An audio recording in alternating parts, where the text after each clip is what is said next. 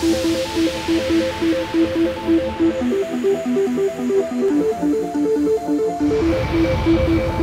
I'm Taylor. I'm from Legacy, and today I'll be skydiving out of a C-17.